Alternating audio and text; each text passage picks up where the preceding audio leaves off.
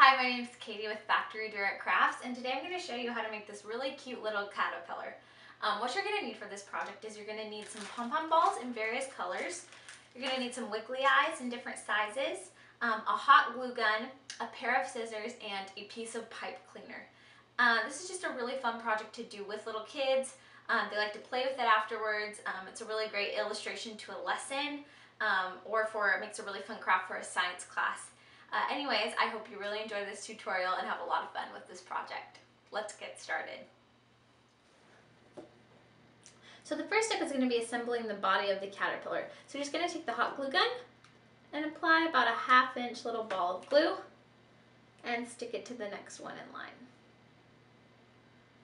Hold it in place until they're stuck together.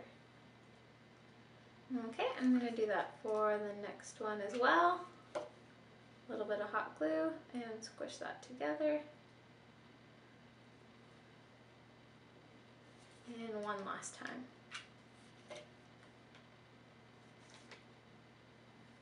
Okay, so there's what the body of the caterpillar looks like. Now we're just going to go ahead and add some eyes right on the front. So I'm just going to take the hot glue gun again, put a drop on the back of this googly eye, stick it right on the front. And I'm going to do the same with this eye. And stick that right on the front.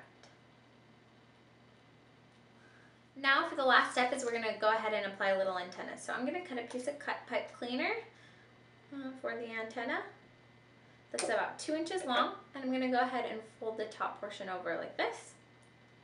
And I'm folding about an inch. And we're going to go ahead and stick these in top of the caterpillar. So you're just going to go ahead and apply some hot glue around the base. And you're going to stick it right down in the middle of those two pom-pom balls. I'm going to do the same with this one. And stick it down in there. Just like that. When you're done, you can go ahead and trim them so they look right. I'm going to trim off centimeters. And there you have it. There is your finished caterpillar.